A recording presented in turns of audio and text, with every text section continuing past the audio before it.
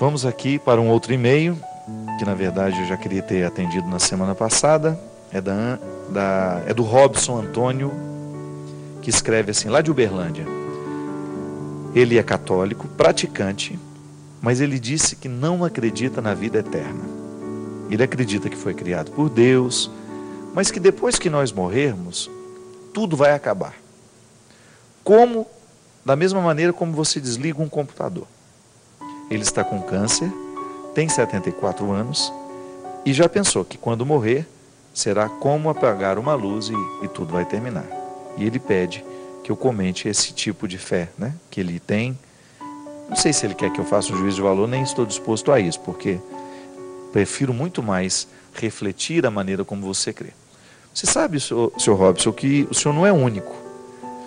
É muito comum a gente encontrar nos dias de hoje pessoas que até acreditam em Deus, mas não têm a crença na vida eterna.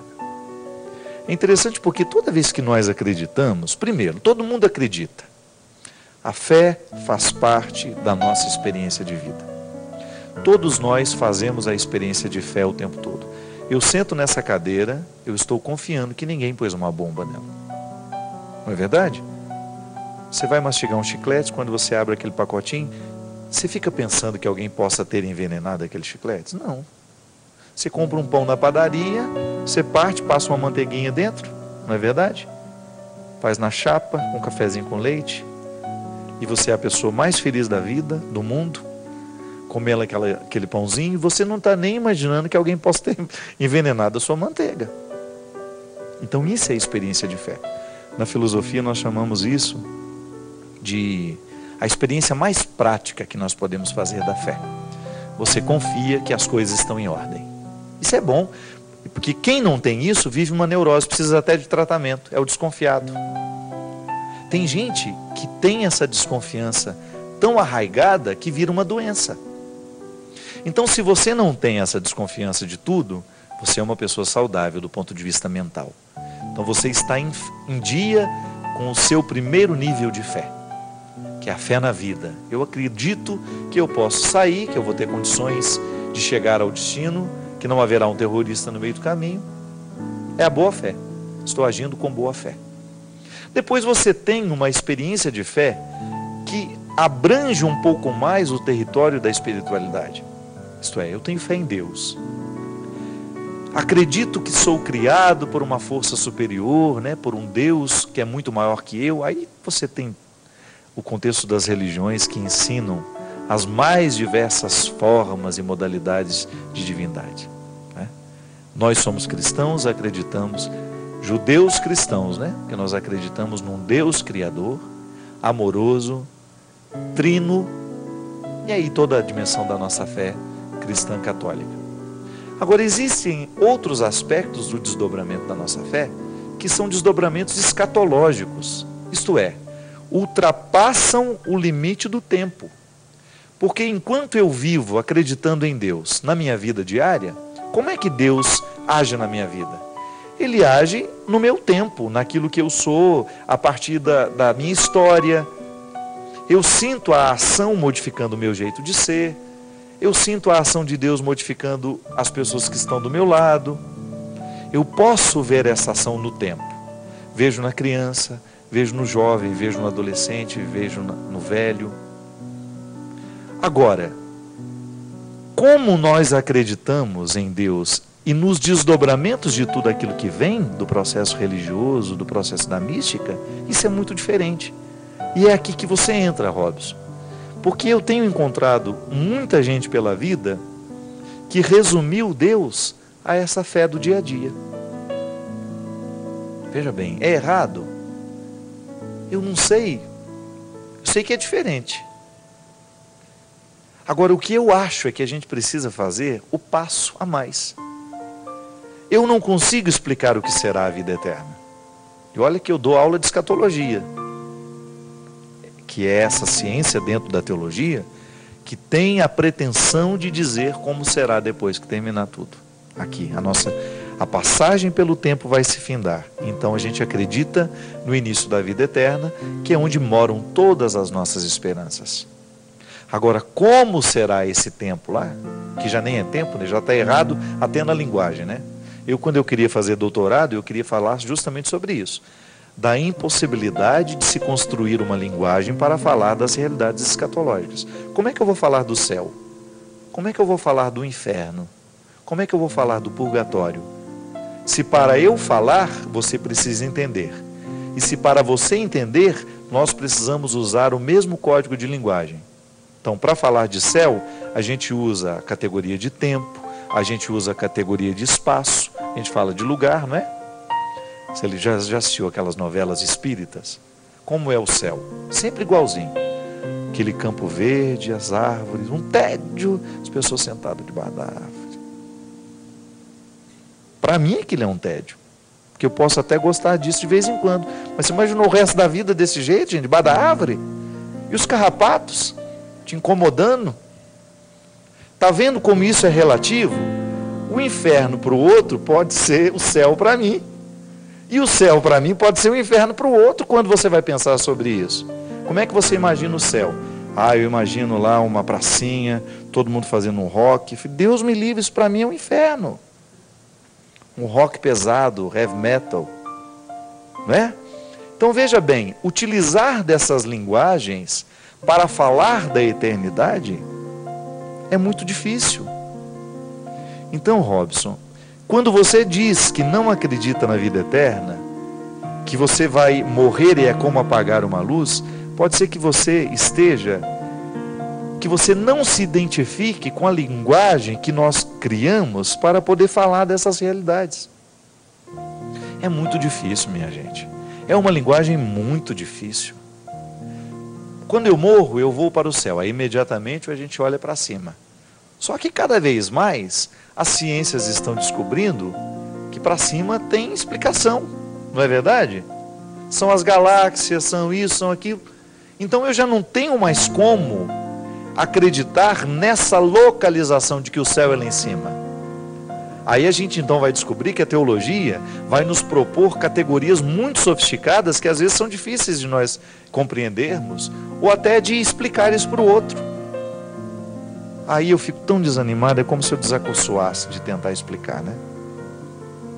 Aí eu chego à conclusão assim: olha, é mistério. Eu prefiro ficar com essa resposta e dizer para você que é um mistério, a ter aquela sensação de que eu estou fazendo um discurso idiota só para você ficar sem me perguntar depois de novo. Para que, que eu vou calar a sua pergunta? Pode ser que a sua pergunta seja muito mais interessante que a minha resposta. Então eu não tenho direito de retirar a fertilidade da sua pergunta e substituí-la pela infertilidade da minha resposta. Eu, como padre, como líder religioso, eu não tenho que te dizer como será o céu. Eu tenho que lhe fazer imaginar. Porque no momento que você imaginar, você criará o céu a partir das categorias da sua satisfação. Ah, mas isso então é uma loucura, padre? Não. Se Deus nos deu este dom, não é verdade? De sentir, de desejar, eu diria a você: o céu é a melhor parte da vida que você puder imaginar hoje, multiplicado por mil, por dois mil, por três mil.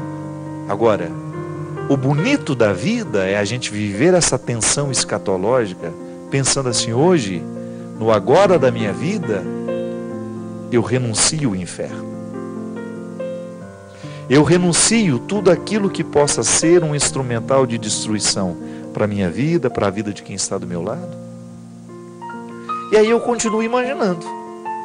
Robson, eu não acredito que você não tenha esperança na vida eterna.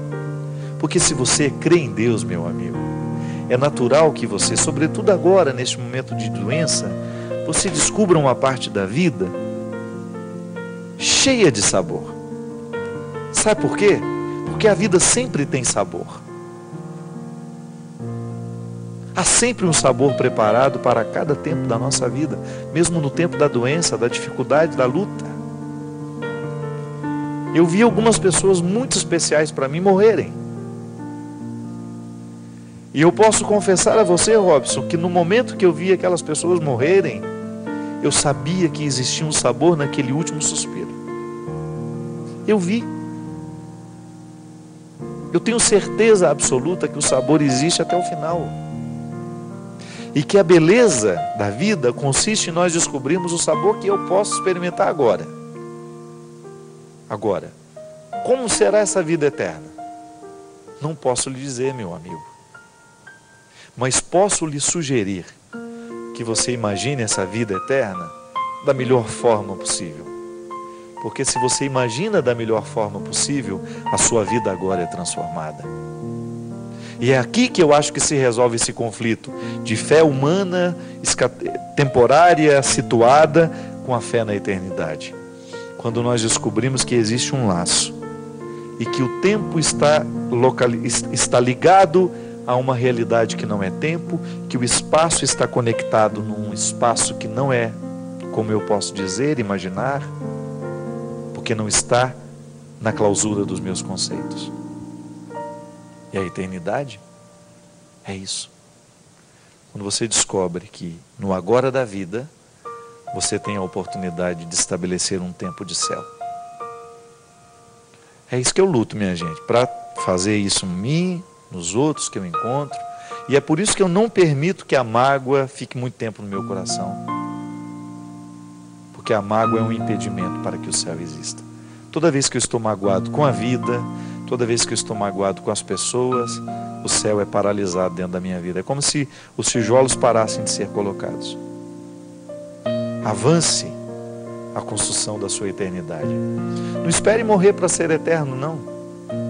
Adélia Prado diz que tudo que a memória ama já ficou eterno. Ela tem razão. O amor é essa realidade humana, dom divino em nós, que tem a possibilidade de eternizar tudo que a gente toca antecipe no tempo aquilo que já é eterno. Traga para o agora da vida o céu que te espera. O contrário não vale a pena. Trazer para o agora da vida o inferno que não queremos. O céu é agora.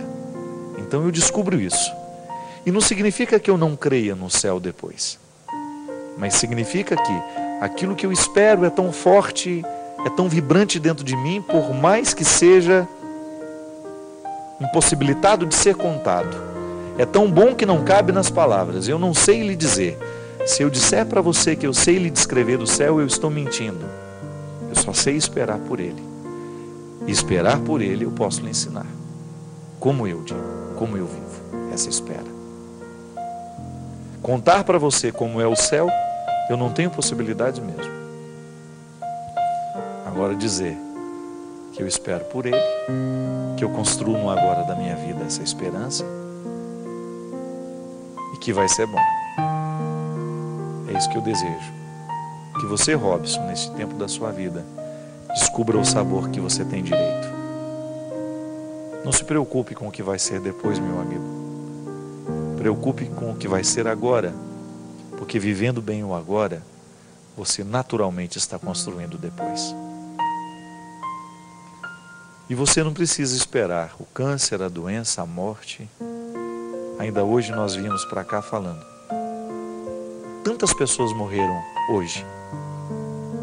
Estavam saindo para o trabalho, algumas se preparando. Nunca imaginavam que a morte iria chegar. Ela vem quando não esperamos. Estar doente não é nada. Estou cheio de vida e daqui a pouco posso não estar mais. Por isso que essa pergunta, essa, essa indagação vale para todos nós. Como é que eu estou construindo a minha eternidade? O Senhor esteja convosco, Ele está no meio de nós. Derrame sobre todos nós a bênção do Deus Todo-Poderoso, Pai, Filho e Espírito Santo. Até a semana que vem, se Deus quiser.